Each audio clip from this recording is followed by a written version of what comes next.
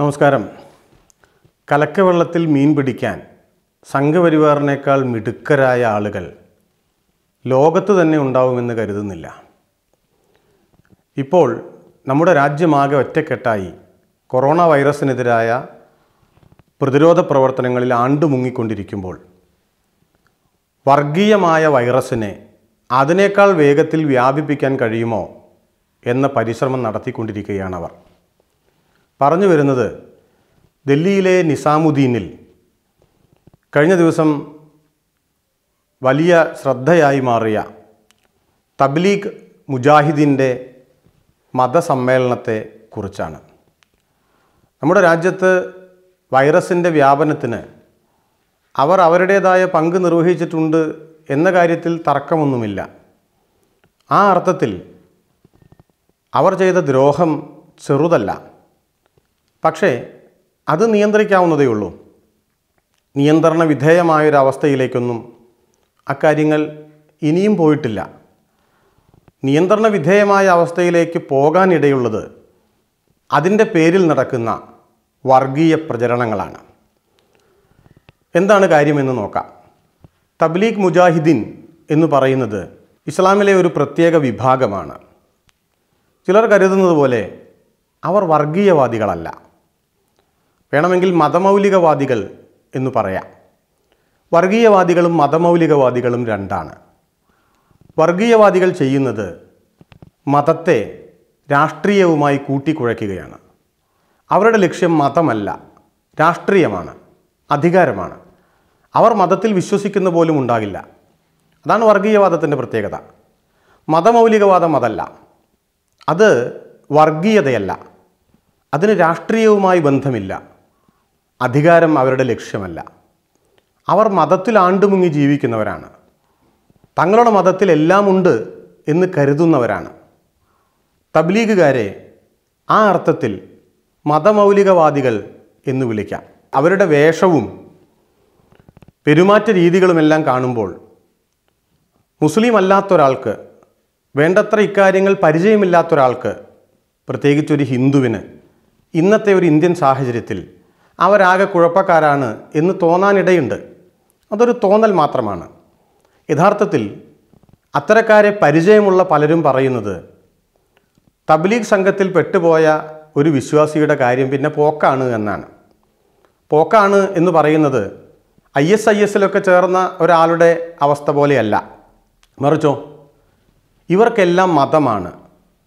കൂടെ കൂടെ പ്രാർത്ഥിക്കുക ഖുറാൻ വായിച്ചിരിക്കുക ആ അർത്ഥത്തിൽ മറ്റ് ലൗകിക കാര്യങ്ങളൊന്നും ശ്രദ്ധിക്കാതെ സ്വന്തം കുടുംബത്തിലോ ജോലിയിലോ പോലും ശ്രദ്ധിക്കാതെ അർത്ഥശൂന്യമായി ഈ മത പ്രബോധനങ്ങൾ ഉരുവിട്ടുകൊണ്ട് ജീവിക്കുക.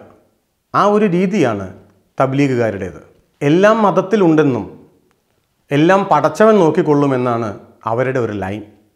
കൊറോണയെ പറ്റിയൊന്നും പറഞ്ഞിട്ട് യാതൊരു കാര്യവുമില്ല. അതെല്ലാം പടച്ചവൻ നോക്കുമെന്നാണ് പറയുക.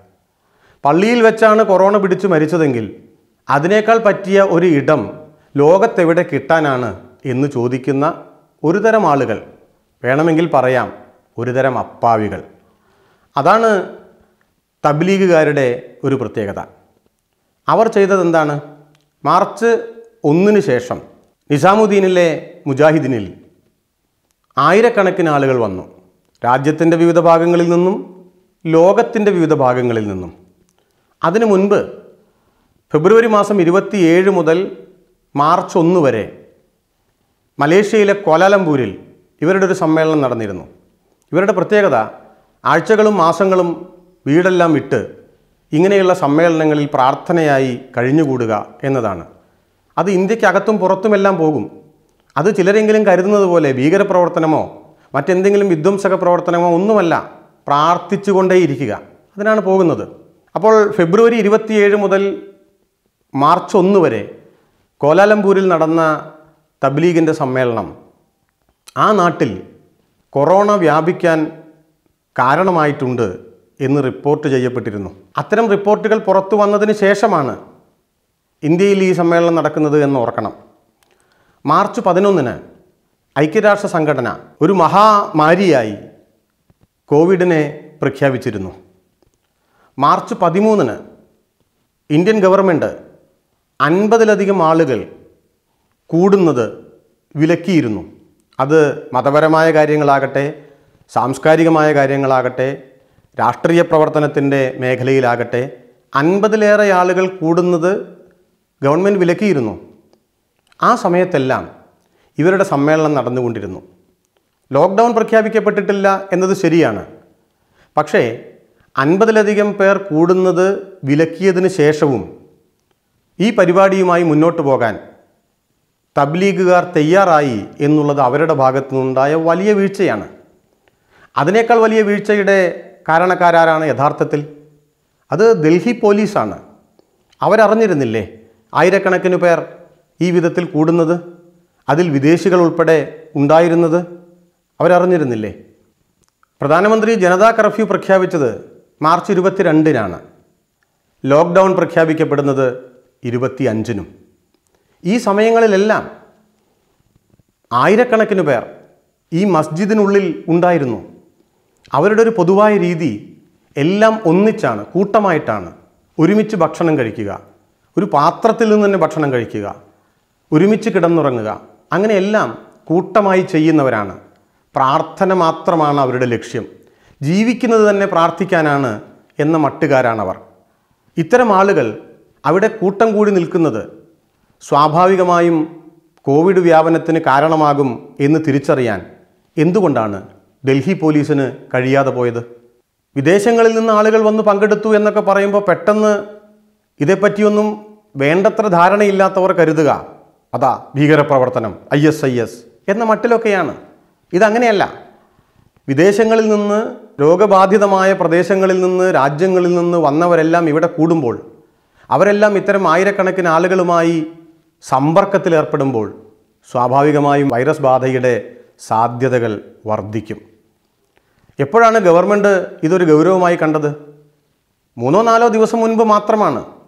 ഇരുപത്തിനാലാം തീയതിയാണ് മസ്ജിദ് അടച്ചുപൂട്ടാൻ തീരുമാനിച്ചത്. മാർച്ച് പതിനേഴിന് തെലുങ്കാനയിൽ പത്തു പേർ മരിക്കേണ്ടായി. അവരെല്ലാവരും ഈ സമ്മേളനത്തിൽ പങ്കെടുത്ത് തിരിച്ചു വന്നവരാണ്. ആ വിവരം കേന്ദ്ര ആഭ്യന്തര മന്ത്രാലയത്തെ തെലുങ്കാന സർക്കാർ അറിയിച്ചിരുന്നു എന്നാണ് പറയുന്നത്. കേന്ദ്ര ഗവൺമെന്റ് വേണ്ടത്ര ശ്രദ്ധയോടെ അതിനുശേഷം ഇടപെട്ടുവോ? ഇല്ല. പത്തൊൻപതാം തീയതി ഈ സമ്മേളനത്തിൽ പങ്കെടുത്ത് വിവിധ സംസ്ഥാനങ്ങളിലേക്ക് പോയ വിദേശികളെപ്പറ്റി അന്വേഷിക്കാൻ സംസ്ഥാന സർക്കാരുകൾക്ക് കേന്ദ്രം അറിയിപ്പ് നൽകുകയുണ്ടായി. അത് എണ്ണൂറോളം പേരാണ്. വിദേശികൾ മാത്രമാണ്. അപ്പോഴും ഇന്ത്യക്കാരായ ആയിരക്കണക്കിന് പേർ ഡൽഹിയിൽ നിന്നും അടങ്ങി ഇന്ത്യയുടെ വിവിധ ഭാഗങ്ങളിൽ എത്തിയിട്ടുണ്ടായിരുന്നു. അവരിലെല്ലാവരും കോവിഡ് ബാധിതരൊന്നും ആകാൻ യാതൊരു സാധ്യതയുമില്ല. പക്ഷേ അവരെവിടെയാണ് എവിടേക്കാണ് പോയത് എന്ന് നോക്കാനുള്ള യാതൊരു സാഹചര്യവും ഉണ്ടായില്ല. പിന്നീട് ഇരുപത്തിരണ്ടാം തീയതി നിസാമുദ്ദീനിൽ നിന്നും മടങ്ങിപ്പോയ ആളുകളിൽ പലരും മരിച്ചുകൊണ്ടിരിക്കുന്നു എന്ന വിവരം വന്നപ്പോഴാണ് കാര്യങ്ങൾ കൈവിട്ടു പോയതായി കേന്ദ്ര ഗവൺമെന്റിന് ബോധ്യമായത്. ഇരുപത്തിനാലാം തീയതി അത് അടച്ചുപൂട്ടുകയും ചെയ്തു. ഇതാണ് കാര്യം. ഇവിടെ രണ്ട് കാര്യങ്ങളാണ് നാം മനസ്സിലാക്കേണ്ടത്.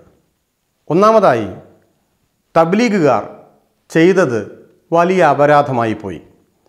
അവർ സ്വന്തം നിലയ്ക്ക് ഇത് വ്യാപിക്കണം എന്ന് കരുതി ചെയ്തതൊന്നുമല്ല.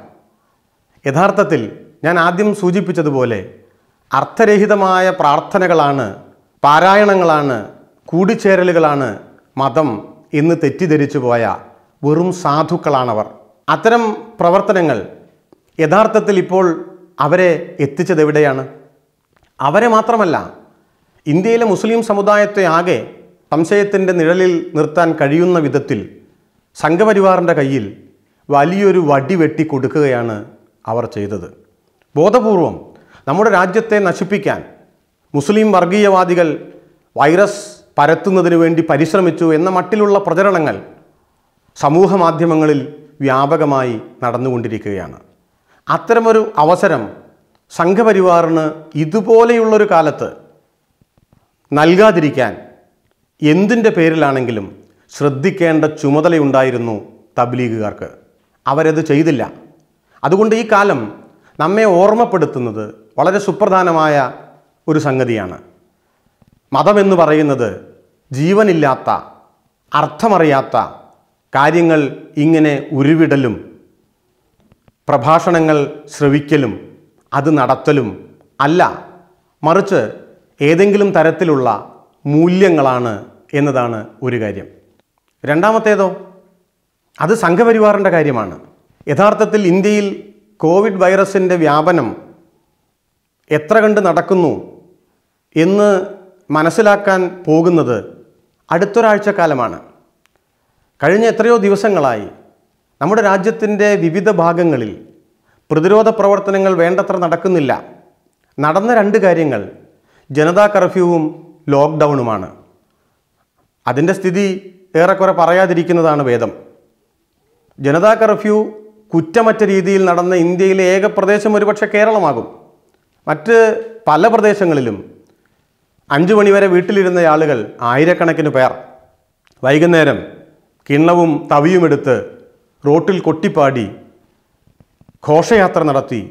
എന്തിനാണോ കർഫ്യൂ പ്രഖ്യാപിച്ചത്? അതിന്റെ ഉദ്ദേശത്തെ ചോർത്തിക്കളയുകയാണ് ചെയ്തത്. ഇപ്പോൾ ലോക്ക്ഡൗൺ എട്ടൊമ്പത് ദിവസമായി. ഈ കഴിഞ്ഞ ഒൻപത് ദിവസത്തിനിടയിലും ഇന്ത്യയിൽ പലയിടങ്ങളിൽ പല മന്ദിറുകളിൽ അമ്പലങ്ങളിൽ പൂജകളും നൂറുകണക്കിന് ആളുകളുടെ കൂടിച്ചേരലുകളും നടക്കുന്നുണ്ട്. അവിടെയൊന്നും വൈറസ് ബാധ ഉണ്ടാകുമെന്നല്ല പറയുന്നത്. അതെല്ലാം നടക്കുന്നുണ്ട് എന്നാണ്. ഡൽഹിയിൽ പോലും നടക്കുന്നുണ്ട്. ഇന്നലെ പ്രധാനപ്പെട്ട ഒരു ടി വി ചാനൽ നൂറുകണക്കിന് പേർ സമ്മേളിക്കുന്ന ഡൽഹിയിലെ ഒരു മന്ദിറിന്റെ ചിത്രങ്ങൾ കാണിച്ചിട്ടുണ്ടായിരുന്നു. ആരും ചെന്നിട്ടില്ല. ആരും അതിനെ ഒരു കുറ്റമായി തെറ്റായി വ്യാഖ്യാനിച്ചിട്ടില്ല.